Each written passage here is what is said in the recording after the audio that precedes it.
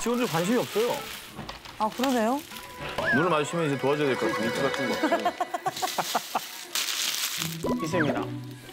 우와, 여기 누구 책상이야? 형철아. 네. 그 우리 쓰레기용 봉투 아, 쓰레기 봉투요? 여기 싱크대 밑에 선반 안에 있습니다. 싱크대 밑에 뭐 있어? 싱크대 밑에? 아무도 안 하네. 네. 선반 잠시만 그래도.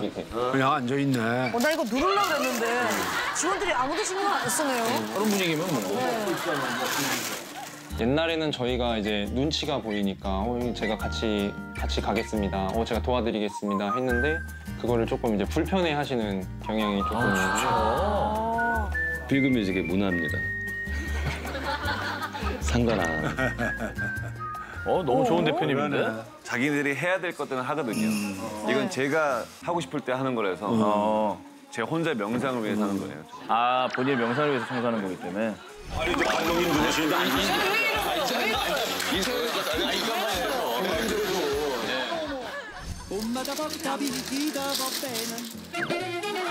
Tu la parla miezza americano Quando si fa l'amore sotto la luna Vedi I love you 이게 너무 저러면 좀 서운하지 않아요? 아니요, 저는 그거에 서운하기 시작하면 어, 이건 진짜 본인이 좋아서 하는 거네요.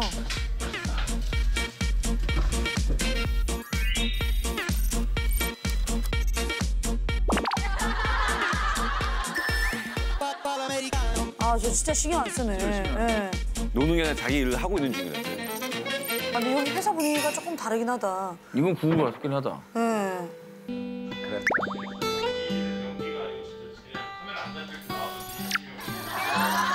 어머머, 계단 다 치웠어, 지금.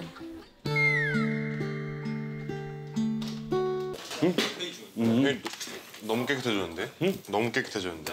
같이 했었어야 되는데. 아니 아니요. 다 치우고 나서 매니저가 이제. 청소한지 몰랐다고.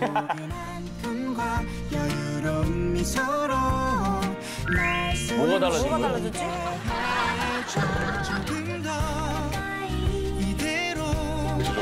뒤에 돌아왔는데 깜짝 놀랐어. 진짜 깨끗해졌다. 어휴, 신, 신발들 가져놓고. 어머. 아, 계단에 이제 올라갈